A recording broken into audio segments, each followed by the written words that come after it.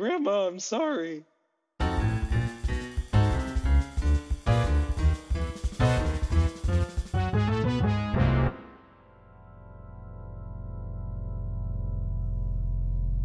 Hello and welcome to the Woodshed Podcast. Don't fucking laugh. How dare you? How dare you? How dare you laugh during my podcast, which I brought you on? Oh. I'm the host, Andy Brent. um, so we're we're gonna be talking about uh, a somewhat sensitive topic today. Um, we're gonna be talking a lot about drug culture today, and I'd just like to say, uh, as a disclaimer, the Woodshed podcast does not condone the use of illegal substances or jazz. Um, please do not do jazz because of us or because of any reason, and also don't do drugs because of us or for any other reason unless they're prescription and they have been prescribed by a well-meaning doctor that you can trust. Heart. All right. So, um our outro this week is going to be by Albano the Madman, the man that has dis- disappointed so many people. You uh if you've listened to the previous episodes, you'll know him. He's a, a frequent poster on Jam of the Week. He has a YouTube, just Albano the Madman, and a Facebook and he sent what is the name of this song open the gate and flood the valley. That's also the name of the album it's on. Um it's the album has like a lot of electronic elements to it. Uh he plays a EWI for a lot of it an electronic wind instrument. And i really fell in love with this particular song because it's very gritty. The whole album's so gritty. You can feel you can feel the grit. you can rub it against you can rub it against you. It's like rubbing gravel. It's great. It's good gravel. It's great on the toes. Um, on another note, at the behest of my beloved grandmother and aunt, I will be trying to restrict my use of the F word, as my grandmother did not appreciate that. So that's just a small note. They told me they wanted me to say that, so there we go. We are, I already screwed that up in the first ten seconds of the intro, but don't don't mind it. No, that was my It's fault. all it's all good. All right, so I'm joined by four lovely people today. So why don't you introduce yourselves? Just say your primary instrument and something fun I gue- uh, about yourselves. I'm Daniel. I mainly play guitar. I also play flute, harmonic, a little bit of keyboards. And I mostly listen to jazz and prog rock. That's it, I guess. All right, my name is Donnie. Uh, my pribi- primary instrument are the piano slash keyboards, anything keys related. Uh, I've been a musician since I started taking lessons when I was six, and that's what I do now. And thanks for having me on. Yeah. My name's Tanner. Uh, I play the trumpet, and I've Yes. spent the last four years uh, in school because I thought, you know, to make more money at music, I got to spend more money, and yeah, that's not really working out. Hi, my name's Tyler. Uh, I only play the the the piano you blow into. You know the. Uh, I only listen to uh, Jacob Collier, Bill Works, and Tiny Desk concerts. Third time's a charm. Uh, done. I was supposed to type that. All right. Well, um, I think it'd be good to go over a little bit of our, our use of drugs. Um, so I'm gonna be the odd one out, like I like I was on the saxophone podcast. I have never had any type of recreational or illicit drug. I guess they're whatever. Um, because I have heart disease. Woo! So I'm a party everywhere. Yeah. Um, yeah. So I definitely can't have any stimulants. So I've never smoked. Um, I can't actually even have caffeine. I can only have about one bottle or one can of Coke before I start like dissociating. I almost thought you said one caffeine. I, I had one. I've had a single caffeine. I really just had uh, the only thing I've ever done that was cool was I had one sip of a unnamed beer right the second I turned 21 um, because of peer pressure. um, yeah, so that's me. So I'm very excited to talk about drugs. Um, anyone else can share their experiences or their their thoughts or whatever. I It's mean, fine. I've done stuff. Hey, mom. Um, not not not nothing special. I drink a little bit, but not so much. I've done other things. Better left unsaid. Done. Cool. Thanks for coming on the podcast. I've done things, but I can't talk about it. Yeah. Like, Just silent the entire episode. oh. Um, yeah, I mean, my history, I, my history of drug use is, I mean, at the point it's easier to to corner it by asking questions than try to do a, a laundry list. Um, I, th- and I guess how it relates to jazz, I don't know. Has everyone here done like pot and alcohol at least? I don't know. we're, we're getting d- to that. I do jazz on a daily basis. I'm insane. Yes. I'm, I'm trying to Yeah. quit. I can't. I can't quit. Jazz Anonymous. Yeah, I think that's really all that needs to be said, unless someone has like pressing like they want to legalize heroin. One of my friends was saying, I was like, oh, don't, oh, that's a good idea. No. I was like, um, all right. Well, one of the the questions I kind of I always ask myself. Wait, I didn't Um, talk about my drug use. Oh, okay, okay, go, go, go. Uh, oh, it's only weed. That's, yep. Okay, I'm good. You can you can continue. All right. Um, so, I mean, I think this is the most prominent question um, that's asked in relation to drugs. Um, what? How do you guys think it affects creativity or your ability to use? I mean, what your ability to play jazz or uh, just any type of music? Because I know uh, one of my friends was just saying um, he needs without Adderall, he cannot perform. He think that's says like it's just there's there's too much stuff going through his head and he he needs it to perform. And i know other people are the other way. They say you know it's hard for me to sit down and practice but my ideas are amazing when i'm off adderall. Or um, you know a lot of heroin users say oh it's their creativity explodes. But then you also have guys you know like clifford brown my brownie boy I, I love him. He's so good. He's such a good boy. Um, you know, he was clean all of his short life, and a lot of people were telling me, "Oh, that's he didn't live long enough to do to start using." And I just Brownie would never do that. He was so pure. Um, but like, I mean, the question is, I was thinking about today. You know, if Brownie had used heroin, would he be a better player? Or would it like you know could it change the direction he was going in? Oh, I think um I think that's definitely like a personality trait because like I can have like really good ideas, but like not with like I'm not gonna do hard drugs or anything, but um I had a combo gig recently where I had three drinks and one was accidentally a double when I didn't order it, so I was feeling pretty good by the time I got up onto the bandstand and it just like it didn't make me a better player, but it like it really opened up my ideas that were already there. So, you thought and- you were a better player though Yeah, oh, oh, it sure felt like it. I think it just enhances what's already there. It doesn't. It's not like if you're a shit player, you're gonna like all of a sudden just be amazing because you did heroin. Yo. You know. Well, I've never played under the influence, but I guess that it all comes down to the way.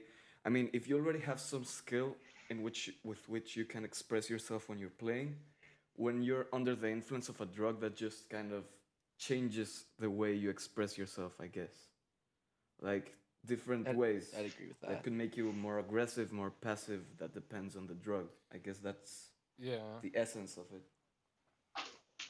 I think in terms of creativity, it can definitely help. So like, I've only had experience with the one, and I can say that in certain times, it has led to some very nice ideas I would not have otherwise had. Like uh, the idea to make an hour-long percussion ensemble piece, uh, but at at one point, uh, the there's a vocalist and they take out their iPhone and just pull up like a a bad piano app and hold that into the microphone and just play tritones while the the timpani player just like rubs his hand on the drum. Like, you know, you just think of really weird things I would not have before. Those are all things I have written down on sheet music now. Yeah, perhaps that's just kind of like removing a filter that you have Yeah. of doing stupid shit. I mean, I I think yeah, I I could, just, I think a lot of people would agree. Uh, I just I it's hard because I can't share any personal experiences, but like, you know, um, I think when you're composing, it would have the greatest effect. So I know, well, it's been rumored, and this is a poor example because it's not jazz, but it, it is like the first when I think like creativity, if you want to expand your creativity with a drug, that would be like psychedelics or LSD. And that's Mhm. one of the things Tool kind of suggests they've done, or at least some of his other bands, uh, the bands Maynard Keenan's in. But um, Yeah, I think I think Yeah. that's semi true. I, think part of why jazz I think is so susceptible to drug use in the early days and still is is the improvisational aspect at the same Yeah. time. Like some drugs might make you more creative improvisationally, but it's like going to be really hard to compose on and you know vice versa. I, I think for me that's kind of how how it works is there's drugs I probably wouldn't compose on. Actually, that being psychedelics, like I prob like from my experience, the influence of psychedelics is like after the experience. And maybe I'll record something, but like if you're on a bunch of psychedelics, it's very hard to like focus enough honestly to you know write a whole piece have i written things on it yes but like it's it's different than i don't know being high on weed or even if you take adderall and being able to sit down and like write things out and having that focus it's, it reminds me of that that one artist. Um, I don't know his name, but he I don't know how he even did this, but he's like he has he's a painter and he makes different paintings based on what drugs he's on. And he'll like, you know, meth is all like scratchy and like kind of terrifying Oh, or like yeah, I've seen Yeah, they're like different iterations of the same painting. i think And- he did and I'm sure- self-portraits of himself right They were yeah self portraits. Yeah, and I'm sure actually a lot of that would be uh, expectations. You know how you expect the drug is gonna work is gonna influence how you're gonna do it. I mean, especially since I'm assuming this guy doesn't do all of these drugs like constantly. He just you know, oh look, I have a chance to do meth. I'll do it once and then paint. I mean, I don't even know how he. Maybe he's just trolling us all. Are But it's albums like- like that? I mean, that would be insane. the thing is like with music if you if you've been doing it for years and i mean you ha- it kind of comes out of you in the way like painting does you can sit down on any drug and it's easier to maybe make that frame of res- reference like he has the limitations of a canvas and the fact that it has to be a self-portrait. If there is some way to do that on music like i've done things like that. It's a great exercise. The problem is with music especially on psychedelics, I've sat down and the fact that there's like almost limitless possibilities and you don't limit yourself is incredibly like overwhelming to where that's what's gotten in the way. The main thing on psychedelics is it, they make you unpredictable. So that's why Yes. perhaps like you see the Grateful Dead jamming for 20 minutes on the same song, that's what helps them. Because if they weren't high on acid or I don't know what, they would probably stay doing the same thing over and over again and that's maybe the use of drugs help them become less predictable and less repetitive because of a free flow free flowing vibe or something. I don't know. when I kind of think of how it's like psychedelics work, I wouldn't like necessarily think about like performing while under the influence of them. I think of them more of like a transformative substance where it's after you've had the like experience like it changes how you act in the future because of what went on. Yeah, that's definitely also a factor. And then again, there's all the psychedelic rock. I doubt that they, ri- they wrote all of the genre while being high on LSD. It's probably after the fact. Yeah, and yeah, I th- I feel like a lot of well, I don't know. I, I really, I guess it just depends on what drugs for a lot of these effects. You know, what was I don't know if he was high, but um, you know, uh, uh, what Charlie Parker made that. What is that thing? He was drunk and drunk off his shit. Um, I can't remember the recording now. Oh, when they were Oh, all holding just him up and down. like poking him with a pen to wake up in solo. Yeah. Yeah. Um, I well, he's but he's, I mean, I think he was drunk because he was trying to kick heroin, so he started drinking like an entire like fifth of you know liquor a day. Lover Man. 1946 Lover Man. And it's like a lot of people regard that recording as like one of the I mean, not one of his best, but like, you know, a very good recording in a way. And you know, he said destroy it, stomp it to the ground is what he said if I recall correctly. Stomp it to the ground. Stomp it to the ground. But like, do you think Charlie could have been as good as he was without using heroin? Is Charlie would Char- Charlie still be Charlie without the drugs? Um, I don't know if he would have been like as big of a part of it because that's like one of that big the big things that Gary Bartz talks talks about is what like um it was a community like if you weren't doing it you wouldn't hang out with them like the people that were doing it were the ones that were the most visible so like if you weren't involved in heroin like I don't I they they didn't really want you there Yeah, I think the drug use attests more to his personality because if he wouldn't have done it, perhaps he wouldn't have been what he was. But other people, let's say Frank Zappa, were also very creative without ever using drugs. So I think maybe to some personalities it is better to indulge a little bit on that side of the spectrum.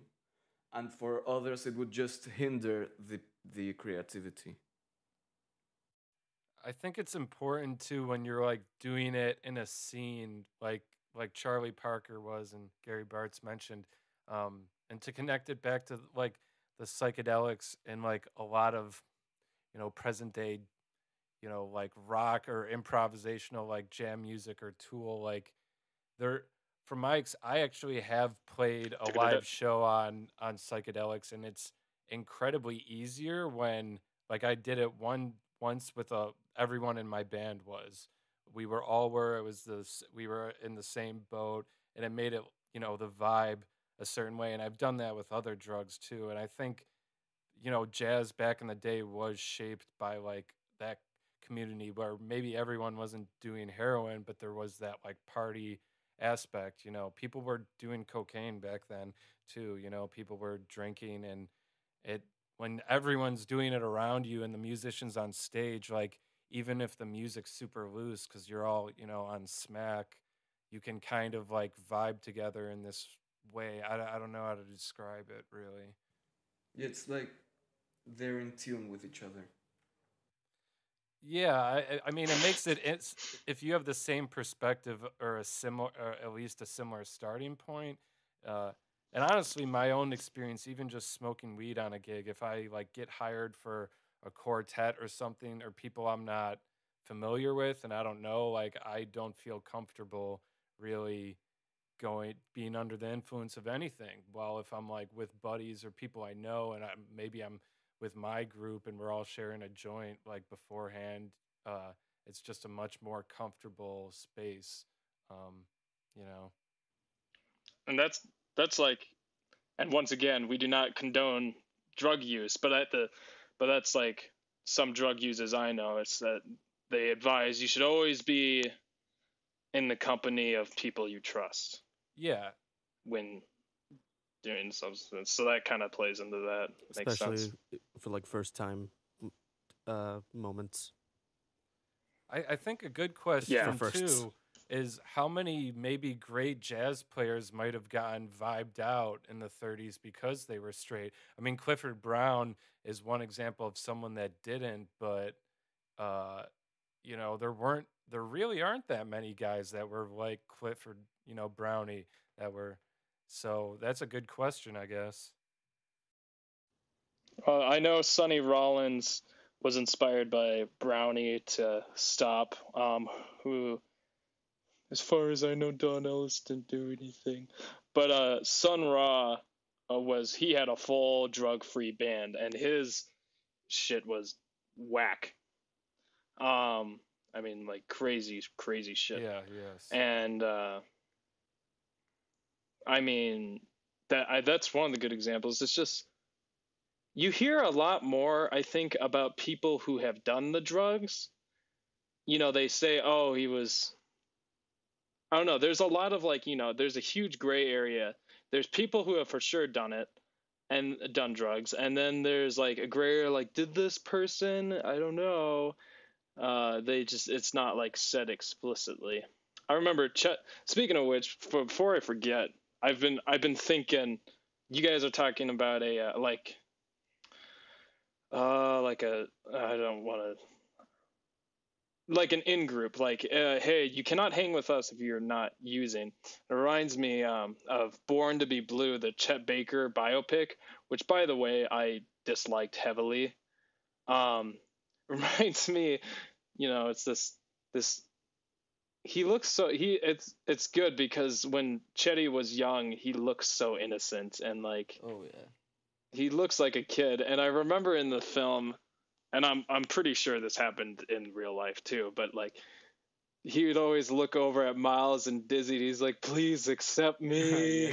Oh. and then when he finally does get accepted, is when he starts using again Well, um, at least in the movie. But that also reminds me of a funny story in uh, the Let's Get Lost documentary, which was also about Chet Baker, and that's a documentary. It was all right. Gosh, it was it was morbidly funny. Um, so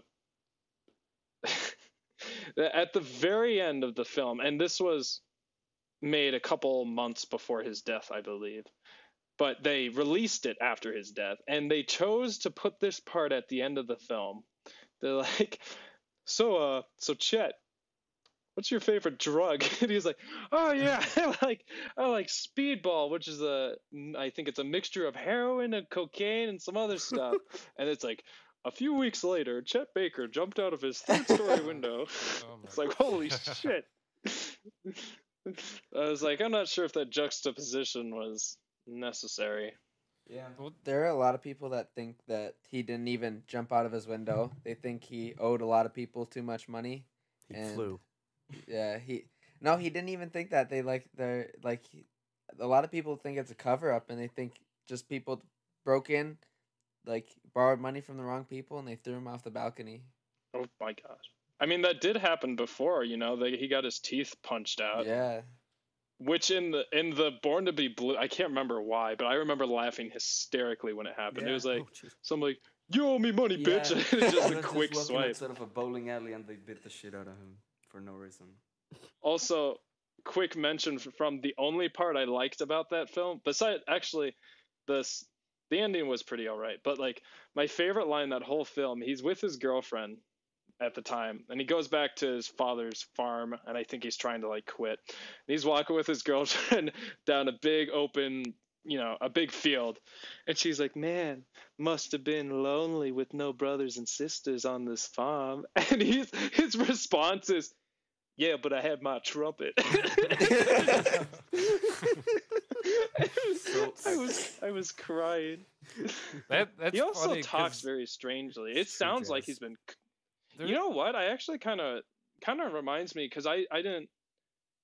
I had never studied Monk in depth yet, but I was watching some interviews, and you know he's like, in the older age, you can barely understand him, and I mean that might be because of the drugs and well, they think that is. Also, Chetty talks like a baby a lot of the time. Monk had mental like issues. Like his wife took care of Yeah. him as he got older. Uh, uh, it seemed like a similar thing happened to him and Bud Powell. Those older like, you know, the guys that like were around for Stride, but then also helped birth Bebop. Like it seemed like they they didn't do a ton of smack like a lot of the later Bebop guys like Parker did, but just like drinking made them insane. I don't know. I- think just alcohol too that early, like you know, like they were around when prohibition was around and people were just making shitty liquor and you know I I really do. Yeah. So many of those guys like ended up in yeah with their just losing their minds before their bodies from drinking. So you got to wonder. With like Korsakoff syndrome is a big one. Yeah. Um, but uh, and then Monk also had, I I mean based on what I mean what I've read, which is I mean pretty little, but I I think it's pretty obvious that he had bipolar. I mean based on my background, because for for anyone that that doesn't know, I'm I have a I almost almost have a degree in both neurobiology and now I'm getting a degree in psychology. But I, I'd say pretty certain from what I read that he had pretty severe bipolar disorder. And I there's some nah, I don't want to misquote. I feel like there was some medication he took that was not good for him. But anyway, Can I go on a tangent about uh, religion and spirituality with drugs? sure. Cool. All right. So, uh, going back to like psychedelics and whatnot, I do believe that there are many people that don't identify as religious but identify as like spiritual. Like they feel like there's like some big picture, some great meaning out there, and a lot of people like to channel that feeling through music because some of the again i'm not religious but like i do enjoy a lot of religious music because a lot of it is composed uh for like not for money not for to to get famous but like for worship for like their religion. So like a lot of it can be like extremely beautiful like if with like the meaning behind it. And uh i know that drugs are involved in, in some religions some cultures like that to achieve that to as in like a guide to help achieve that spiritual place hence why people take psychedelics and whatnot. So it's like a, it's like double enhancing music if you if you're making it both for religion and that religion involves drug use. This is just something on my mind. And I mean re- I mean really to counter your argument though. What? i'm not arguing. what ja- oh, what jazz what jazz musician makes music for Ooh. money? We're all dirt poor, there we go Uh, except for uh, it's they, interesting. they always said Miles. They always said Mi- Miles quote. I had a quote with Miles. I think it's from actually. Uh, he didn't say it. It was. It's in the uh, the film about 1959, the year that changed jazz. Oh, and our uh, one of our favorite tunes was released then. Uh, take five. Anyway, um, th- they said about Miles, you know, he could he could walk off the stage if people were making noise and being rude and just say fuck that. I'm not dealing with that. And he's like, that's because he had the money. we don't. All these other guys are like, we don't have the money to do that.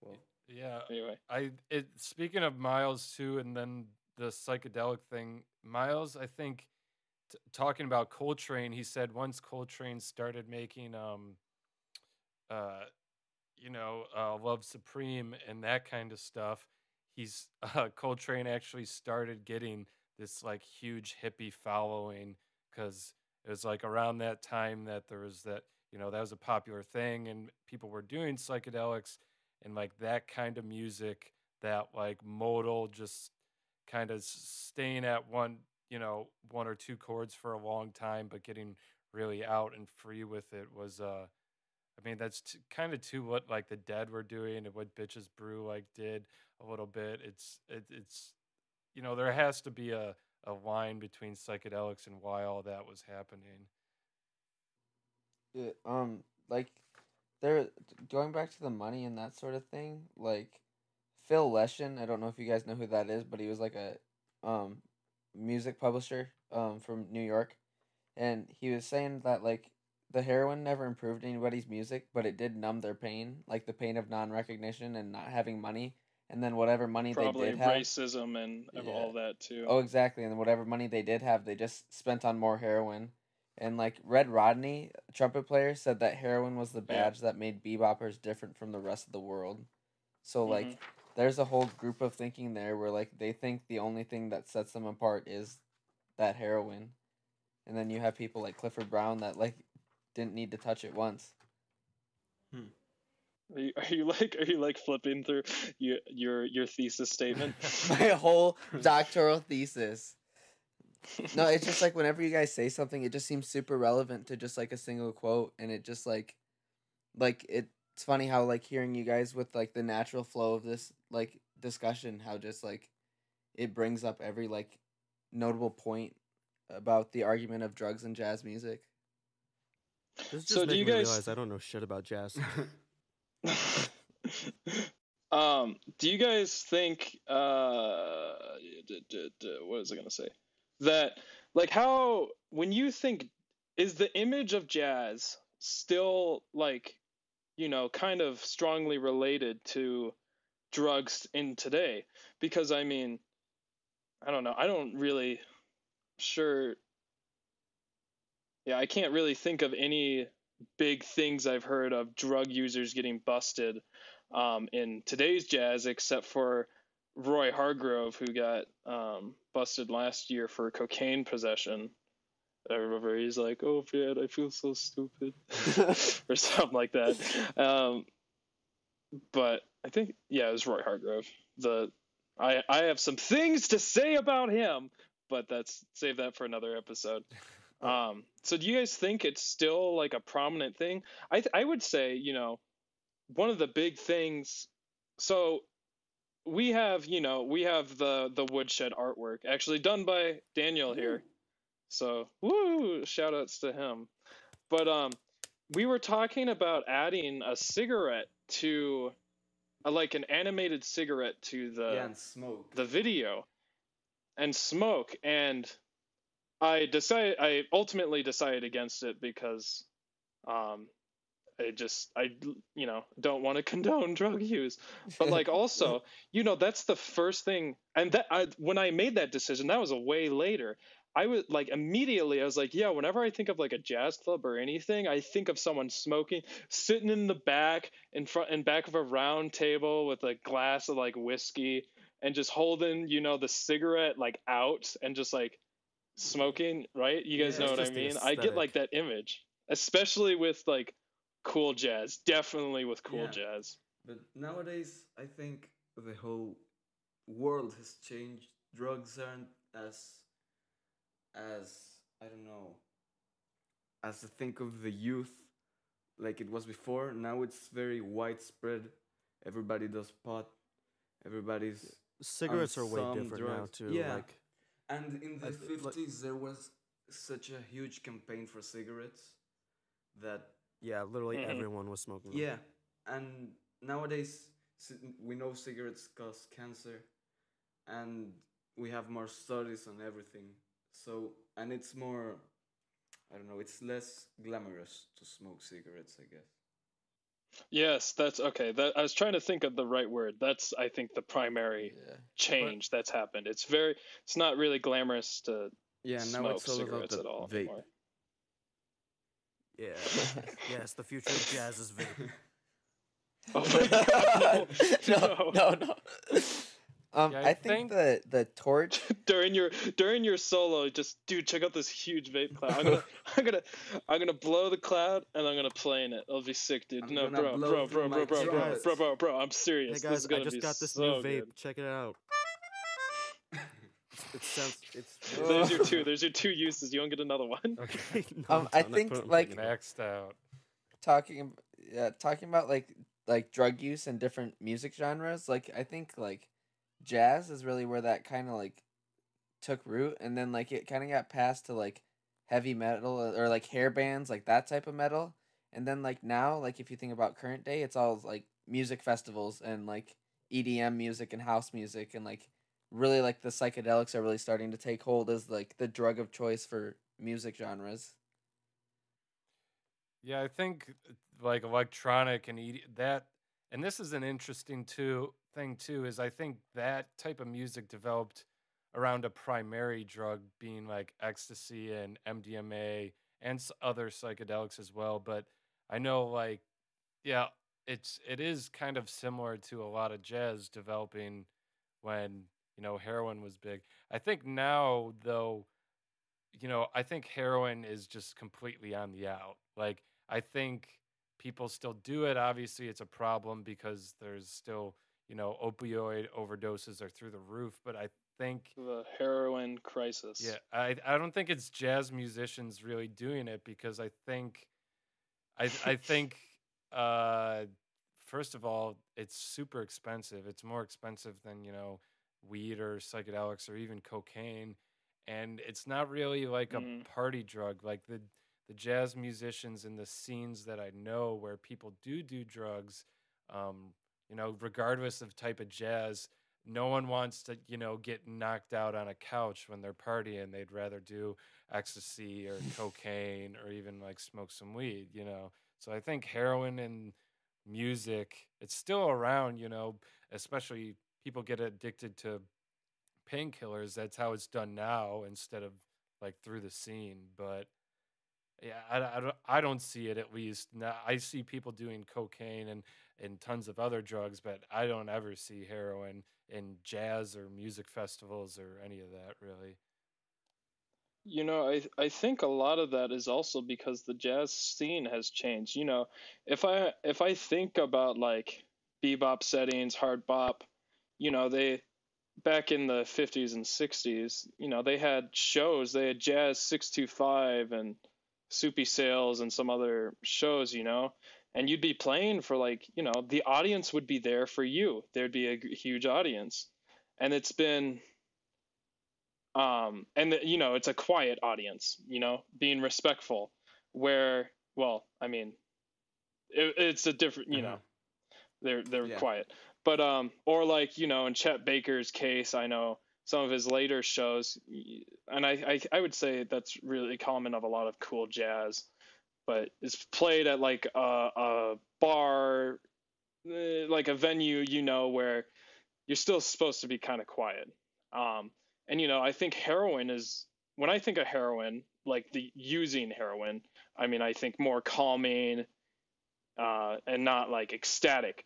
So now go f- fly forward to uh, this day and age if if you even have a jazz concert if you are lucky enough at least in the states you know eh, you might i i think a lot of what am I trying to say? You know, like a lot of new groups like Moon Hooch, um, some more like mixed bands, you know, that play funk or some kind of more Puppy, exciting you know, music. They play Snarky Snarky, Puppy. Puppy. plays tons of festivals, or used to. at Knower is my favorite Yeah, jazz. well, that Nowhere that's the point. yeah. It's more festivals. So we have these festivals where, um, th- I mean, th- that's the key word, festival. Everyone's kind of you can have a fucking mosh pit if you want. It's it's much more energetic. So I think you kind of have to change the drugs I'd love to. it's not changing the jazz. drugs to fit the music it's just that the music now is fitting fitting with the uh the audience so now you have to fit your drugs with that kind of music now so i think that would kind of uh change what type of drugs are being used well, you can look at the 70s in that regard too. Like the 70s was the rise of like cocaine and disco, but then you also have Return to Forever, Mahavishnu, Weather Report, you know, Herbie's Headhunters. Uh, the list goes on. These electric, you know, f- acts that are doing more funk and and even even with like groups like Mahavishnu and Return to Forever, they're not necessarily funk, but it's this very aggressive music that just so- to me it sounds like cocaine. Like it just sounds like being on cocaine. yeah But I mean, nowadays, um, for example, Coachella banned drugs this year, and also there's this jazz festival here in Panama that it's not very jazz fusiony. It's more like very old school jazz, and you see the people playing, and it's definitely not the same as it was before. Now, I mean, if you think of jazz music- musicians in the 50s, you think, I don't know, Miles, you think Coltrane. And nowadays, it's people like us, just white teenagers. Us. Yeah. Oh, it We're sucks. the future of Adam jazz. Neely. Jacob Collier. To come, think- the future of jazz to come. I think ja- it's just kind of diversified. you Jacob. know, like there's so many people playing different kinds of jazz. Like yeah, there's the Roy Hargroves, but then there's also some straight edge people, and and it also begs the arg- argument of which is jazz and which like like because some people are like snarky puppy. Who cares if everyone's doing drugs at their concert? They're not jazz or, but you know I'll go and see like Brad Mehldau play with his trio and it's straight up no one's doing drugs but then I'll go see him play with Mark Guiliana and his Mehliana ele- electric duo and like half the crowd's rolling. So it's like it's a very weird thing. It kind of depends on the music. That reminds me of like me when I discovered Knower trying to like tell my other friends, no, this is jazz. This is jazz. Yes. I swear. Yeah, because I'm I- like so I'm like, they'll catch on, they'll bite onto this because it sounds pretty hip. You know, butts and tits and money. Yes. Yes. I'm like, yeah, I of like I all of my my friends will want to listen to that because they're trash. they don't listen to hard bop. And I'm like, I'll slowly corrupt them and get them to listen to hard bop through this. But it's like, Honestly, I what did too. someone said? I I believe it was I won't say his full name, but Eric, I believe, said told me, um, gosh, oh shit, what did he say? Something like, uh, the more the more you love jazz, like the more stuff you want to be jazz. Like you you say I this is jazz because you just want to open you, you want to I wish I could I have to find the the original quote. Yeah. yeah. I I mean, think that's- uh, we're not it- supposed to. I think that's exclusive to young jazz shit posters because I know some old motherfuckers that are very tight on their definition. No, yeah, I agree. I, I'm the Um, same way though. I I'll- think there's no question. I'm, you know, I'm willing to overlook many things to be like, you know what? They're trying. They have a ninth on that chord. They're trying. There's a nine in there. It's like that Lou. I just I just looked it up today. It was Lou Reed that said uh, one chord is rock. Is that what he said? And then two chords is like whoa. Uh, wow, I just screwed up the entire quote. Doesn't matter. The quote I hate it, but it's like one ja- one chord is rock, two chords is kind of crazy, and three chords is jazz. Haha, funny meme. It's I forgot where I was going with this. I got Simon so Franklin? frustrated about how much I hate that quote. Damn. Or like, man, I. Th- Well, uh, Lou yeah, Reed. That's that, that's did going lots of into tr- another topic. Lou Reed did heroin, so he he's jazz. That is true. It's such a perfect day. Wow, I fucked that up too. Just gonna. I don't Anyway, think Jacob um, Collier has ever done anything stronger than orange juice.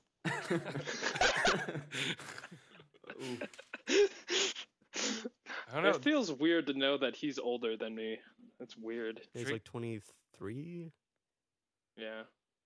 Drinking But, uh, age Oh, in man, the that makes me feel UK is, now. I isn't it suggest- 16 or 18? So Probably. Depends on He's Ken. He's Ken. depends on where you are. I, I don't know why I'm talking. I'm an American. I highly uh, suggest uh, listening to the the very first thing he uploaded on YouTube. I believe the year he uploaded, he was like 15 or something. It's just really experimental, uh, electronic. There's like some like backwards vocals in there. He sounds like an infant. It's great. I love infant music. Fantastic. I'll check it out. Everyone, check out the infant music called, by s- Jacob. It's called Serendipity. Make sure you you sounds uh, pretty bad, honestly. make sure love it. you uh you you guys spread this podcast around so we can get the big boy Jacob Collier on our podcast. We are also talking about though what we really want a lot more would be Jacob Sartorius. Um, Yeah. He's done more for jazz than anyone Jacob else I know. Oh, My vote's still for Jacob Yeah. Man. Oh yeah, we have to I can- climb the oh, ladder. We could Jake. We could actually get Jacob Mann on here. I think. And then we can get Jaco Pas- Pa- Pasta. Jaco Pasta. Yes, and then he's and then you know Jacob number two, and then Jacob Collier. yeah, an episode full of Jacobs. oh yeah, no, I have an entire episode of Jazz Jacobs. Jazz Jacobs. Oh wait, The well, double yeah. J's. Jacob Sartorius can be the host.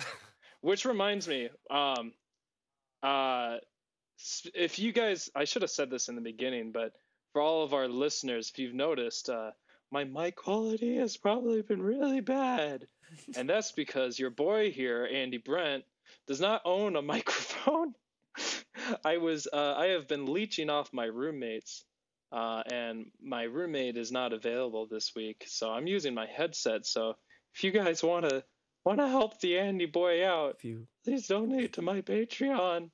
maybe Or one day Venmo me. he'll sound as good as my mic. Do it. Which now, and- if you if you And I'll and in I'll, to his, I'll make I'll make great rewards. I'll I'll I have no idea what you guys want from me. I Venmo just me ma- at I make Jazz memes on the internet. dot Andy Brent. I, I'll, s- I'll send you each a personalized lick. But um, I don't know if I want that.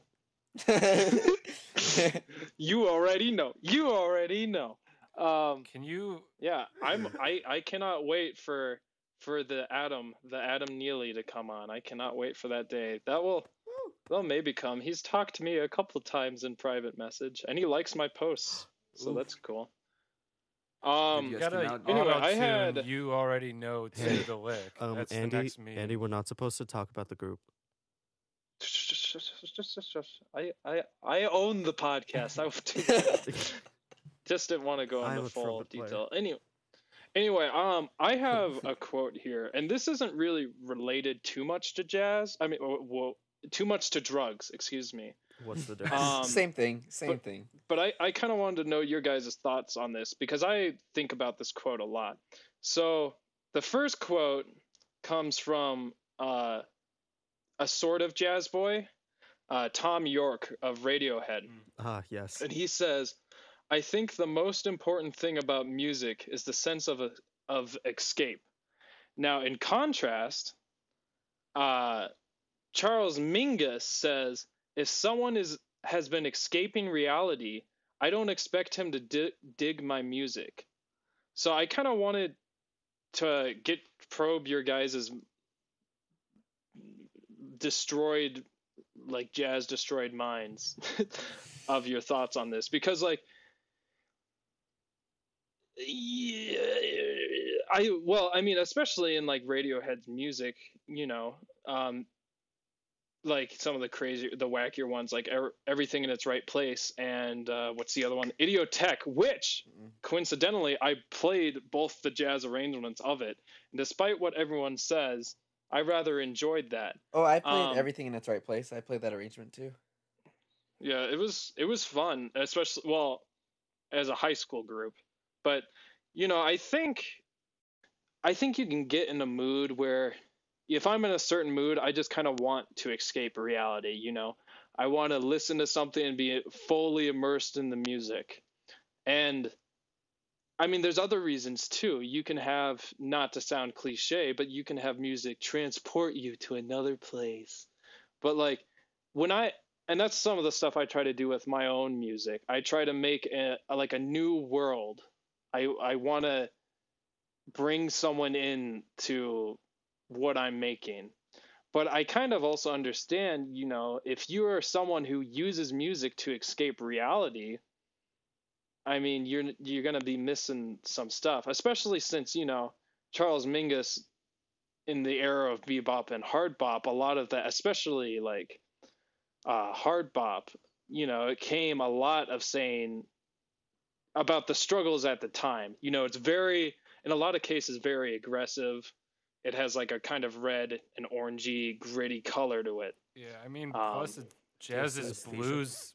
jazz's roots in the blues. I mean, so many of the the songs you find, you know, in in the real book, like are, you know, either a ballad where you're supposed to make people feel sad, the blues that way, or if it's an uptune, you know, you're still, you know, minor, major blues are still kind of providing those like emotions. And I guess it depends on, like, if you view an escape as creating a world like Radiohead would, or I don't know, because some would, you could argue that immersing yourself in like the blues or trying to feel that emotion is an escape in itself.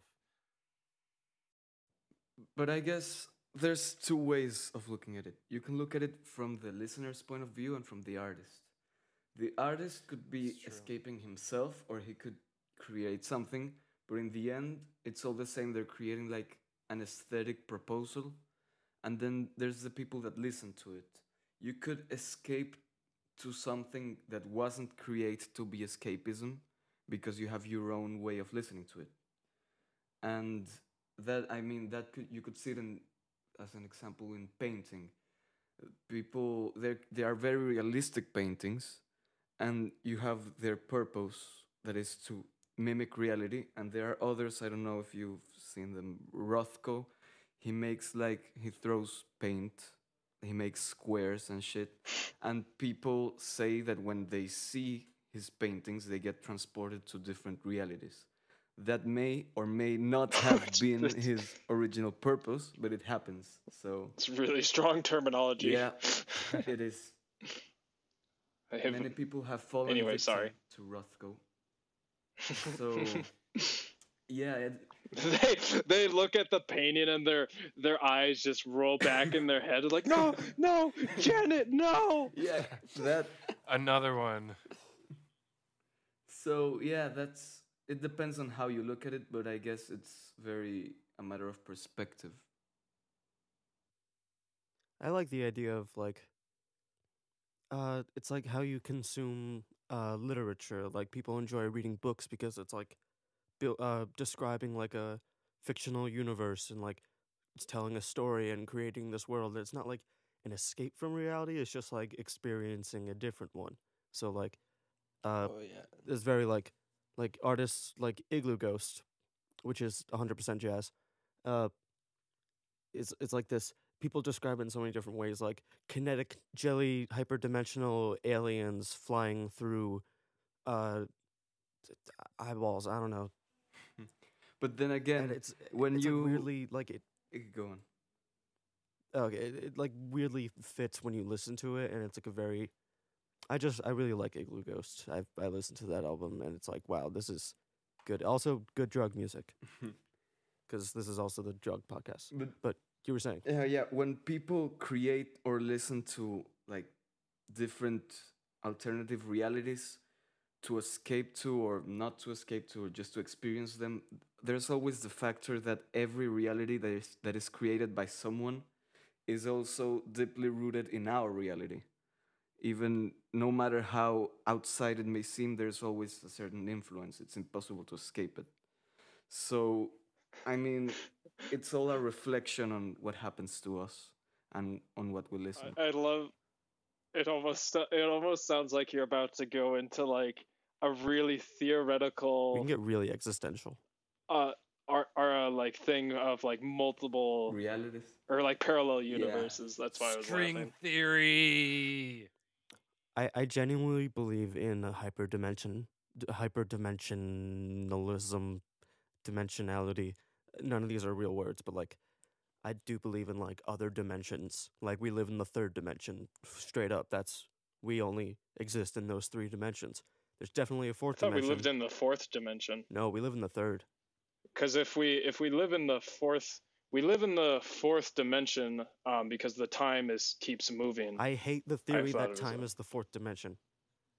Time's Oh. I will fight Oh, this. we're, I'm shit. we're gonna have we're gonna have some problems because i'm that was my major almost i was gonna be a theoretical mathematics major and i i wrote I believe I in made species in the other spatial dimension they could pass through our third dimension, but that's like us passing through a second dimensional world, a flat world, the Well, flatland the- theory. Yeah, there's. I'm just And I'm gonna we- say we I'm gonna find- say I'm just gonna say I wrote the proof I made proofs about fourth dimensions and whatnot, and then I freaking read Flatland and it had the same exact proofs and diagrams in I it, and believe that was in the one of my double slit favorite moments in experiment, it. single-handedly proving that the fourth dimension is based on spatialism and not time.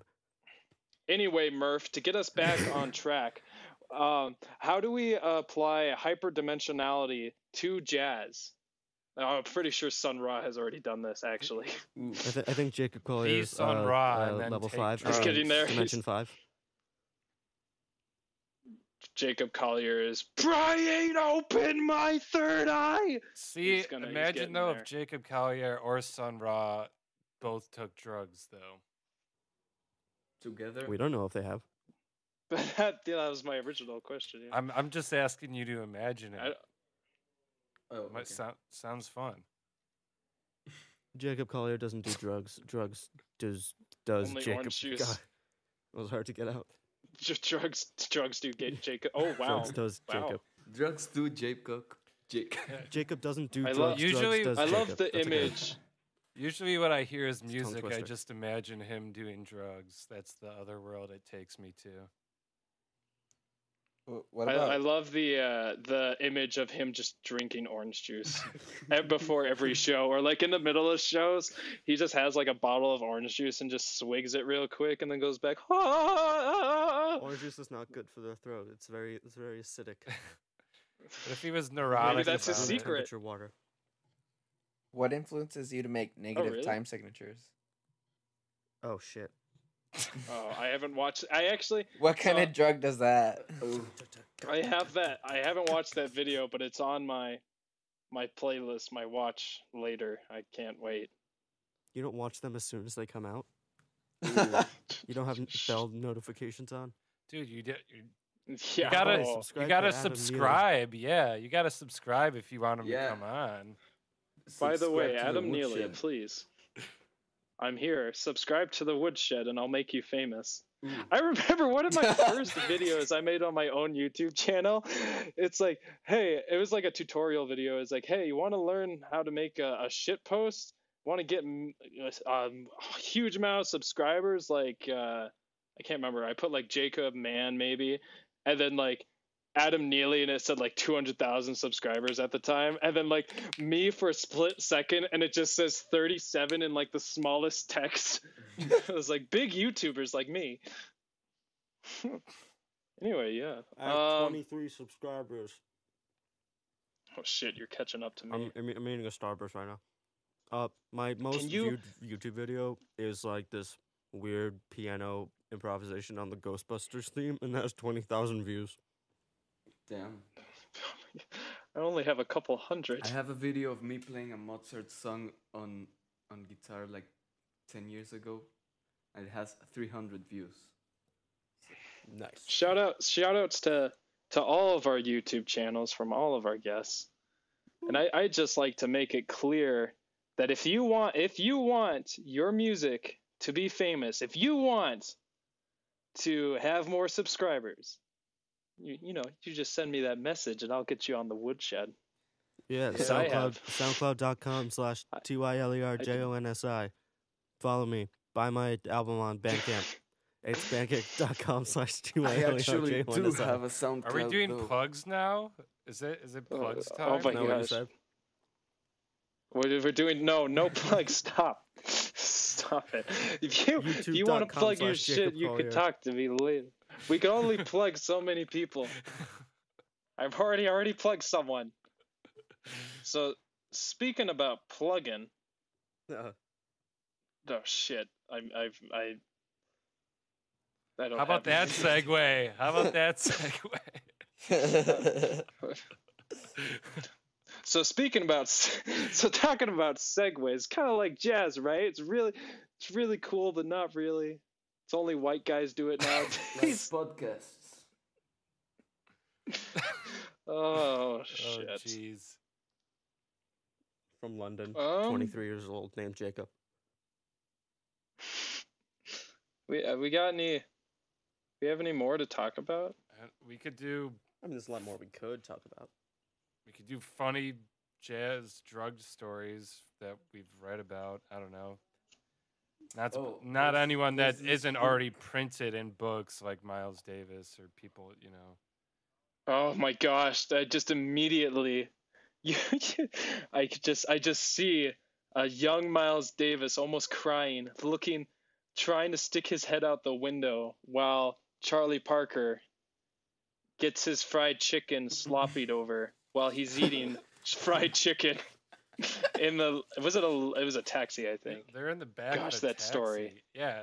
No, Charlie Parker was getting Yeah, ahead at the and time, just- and he was t- told Miles like, "Fucking stick your head out the window, boy. Like, what are you doing?"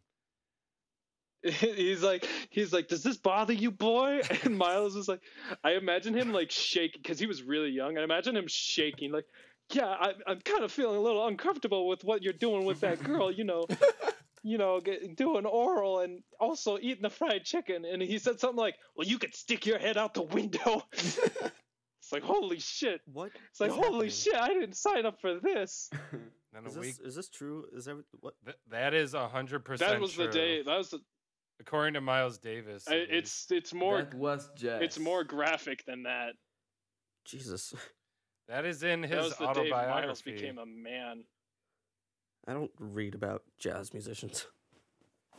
Oh, it's, you should. Miles is it's good so though. entertaining. It's in his voice, so like you'll Ma- see it printed out, just like I looked at that job, motherfucker. Like it's just written in his voice. He's like, Yeah. you white motherfucker! I swear. Dio, Dio, book the fucking gig. uh, no, Miles is great. he kicked heroin Um, twice. jazz drug stories. Uh, well, Well- there's also the other story of Miles' different drug in in the 70s when he was rich as fuck and dropping like something absurd like $500 on cocaine like a day.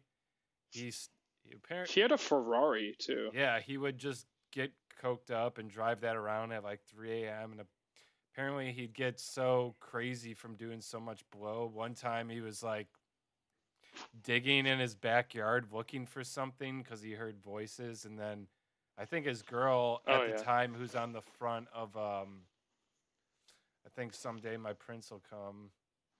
Was like basically like Miles, what the hell are you doing? And he kind of stood up and was like, I don't know, and just threw this shovel aside and like ran back inside. nah. So I think a good rule of thumb is never get that deep into drugs if you're doing them. Although none of us are going to be as rich as 70s Miles Davis. You don't know. You don't know. Jazz is gonna come back. I swear. You got the hey, you I'm gonna be rich off this podcast. you got the Patreon. You know how much money I've made? You know how much money I've made off this? I've I've gone into debt thirty dollars. If we just buy everyone heroin, then maybe jazz will come back. You know, I don't think we should. True. I don't think we should push jazz to be in the mainstream anymore. I think we should go back further, back to like uh, the Baroque period. Like those guys were the rock stars. Just start over again. Bach made jazz. shit posting of class, outta uh, here. pretentious classical. Shout out to pretentious classical music elitists.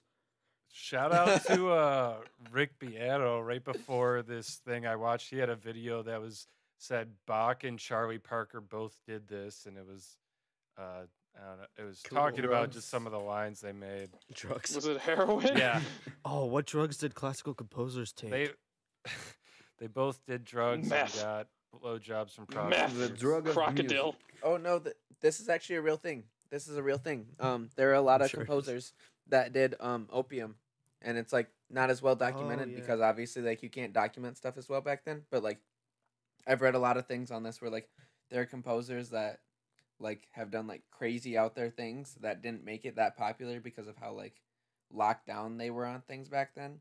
But like a lot of painters too, like like did opium a shit ton. Yeah, a lot of people tend when they think about Classical music. they think of old people and doing and just sitting at a concert hall, but they forget like people like Franz Liszt. That was it, it was a life of Mm. excess.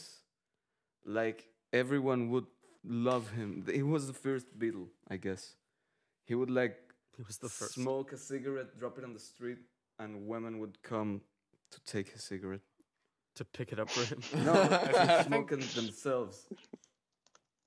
I think Debussy God, it drank was a lot crazy. too. They'll just everyone will know. Everyone will know. I think it'll be obvious. We don't have to state it explicitly. Anyway, um, Okay. anyone have drug stories to talk like uh, not? I mean, they can be personal, but like um, about artists. I'm not really. Yeah, I got one with about it. myself for from two hours ago. Uh, I set up my mic for the this podcast. And I, I went, and then I went for a walk, and then came back and started the doing the podcast. What drugs did you do? And I That's wild. can't. I I simply went for a walk, and occasionally sipped my water. You got high on life. It's High on life, the best kind of- I, I State. went outside with my. That's my not a drug, nerd. Is, is the worst drug of them all. Not even once. Jazz, not even once. Ska is the superior. oh boy. All right. Uh, Just ending on that Ska superior. That would be the title of this one. Thank, thank you for the the ska posting of of oh, shit. the the ska po- or the oh Ska yeah, I messed it up shit to too. The, sh- The fedora posting, posting of of ska. to come. ska to come. Yeah. S- Jazz is the poor man's ska. It's the loser's ska. Oh man, gosh, what do you, what do you think ska? Ja- like if okay, here's here's here's a fun thing. Here's a fun thing. So, what would you say if you were to describe a genre uh, or subgenre with a drug? What would you describe it as? Which one? Ska? So, uh, yeah, yeah, ska would be. What would what do you think ska would be? Mm. Damn. I don't know. Do ska Like kids ecstasy? do drugs? Combination. What kind of drugs do dads take? No, yeah, no. Ska is just like when you drink like a bunch of pops with your friends when you're 12 years old and you have a sleepover, and you're like, you think you're such a badass at like two in the morning because you got to stay up and you're just like sugar high. rocking out. Yeah, that's what ska Yeah, pop is. rocks. Yeah, pop rocks. Like, dude, check out these drugs. the drug that ska is is caffeine. Yeah. Ah, yeah, It's technically a drug. yeah. I I can see that. I take it like ska's what Andy- Andy skaters can't have listen ska? to. They just drink a bunch of Monster and Red Bull and just listen to ska and rip some ramps. Yeah, like like what's pop punk's drug? Uh, soda. Teenage All right. angst. Well, I think well, that that's that's like oh man, I had that period. That was the the jazz. That was before I discovered jazz and went oh. full full. I, yeah, I tried to rebel with jazz. I guess not really, but like I was in that period where most teenagers rebel, and I. And my, I remember my parents saying it's just a phase. He'll get, he'll grow out of it. Just me listening to jazz, like stuff older than my parents listened to. I'm like, oh, it's killing me. Where did you learn to Oh, play that lick? I learned it from you. just and it wasn't it wasn't just a phase. Just like drugs it stayed with me forever. I am an once i once i became addicted i was an addict for life. And it sucks. And now you go to high because schools and give jazz is awful. All right so this has been the woodshed podcast. Drug addiction no condonation. Did you mean drug with addiction? uh with no, that works. tyler. Hi. tanner What's up? Donny! Howdy! and Daniel. Let's jam.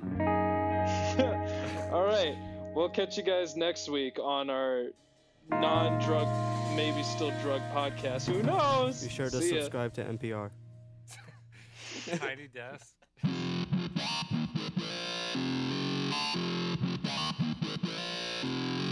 Yeah.